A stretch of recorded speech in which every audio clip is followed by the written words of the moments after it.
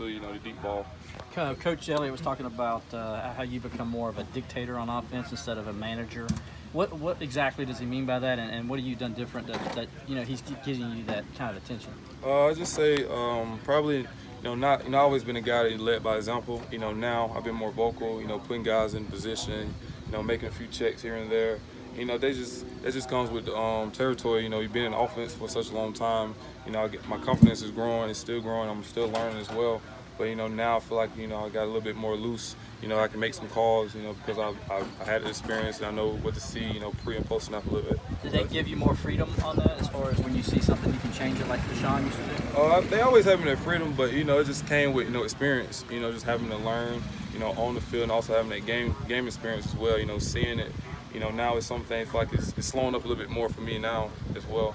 Coach Swinney has said a few times over the past couple of weeks that you have had your best day. Um, I guess it's getting better and better throughout camp. Is that something you've noticed? And what areas in particular do you feel like you've been really performing well lately? Uh, I'm just it's competition. You know, you know, being out here on the field, practice field, and also um, when we be out there scrimmaging, you know, it can bring the best out you. You know, some days it can be good, you know, and some days it can, can be not so good, especially when you're going against um, Coach V and all those guys out there. You know, they make it hard for you. You know, just biggest thing, you know, just making sure that I haven't been getting too high and too low, and just trying to, you know, stay consistent. You know, and improve as well. And so those are the things, you know, I've been honing on myself and just engraving, you know, not to get too high and get too low. You feel like you have made big improvements since? I feel like I have. Um, yes, I have. You feel like you've made a strong case so far to be the guy, the first guy out there against them? I feel like I have, but you know, like I said, it's gonna be the coach's decision. So, you know, we're gonna have to see what we'll see what they have to say. Coach Elliott talked about um, Lyn-J and, and his willingness to pass for attacks a little bit further along than Travis was in that department last year. It, would you agree with that? Uh, I definitely, um, you know, a year ago, you know, it's very can see some similarity between those guys. You know, coming out here, you know, they're they're making big plays. You know, everybody's like, who is these guys? Who is that guy? You know, that's that's who um, Lyn-J been. You know, of course, you know, he he's been really good in the pass protection. He's been catching it really well.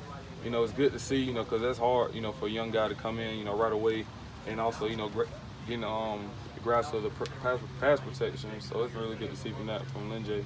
And also as Travis well, he's also grown as well in that um, field field as well. The other quarterbacks, um, Trevor and Chase, have you seen those guys improve as well? And in what ways have they gotten better throughout camp? Oh man, they loosened up, man. That was a little tight, you know, going into it, man. I had to, you know, put them in a chokehold, but nah, nah. and uh, it's been good. You know, those guys, you know, whether no no matter who they're repping with, you know, those guys been you know, driving offense, you know, making plays. You know, it's really been good to see, you know, competing. You know, also, you know, lean on each other, you know, to help each other and better, better each other, you know, all of us out there. You know, it's been good to see all three of those guys. And also, you know, not many people talking, but Ben Batson, you know, as well, he's a guy that came in, and, you know, he was obviously going to be a defensive player. You know, now he's a quarterback. He's been doing really well as well. Very good. Thanks, Scott.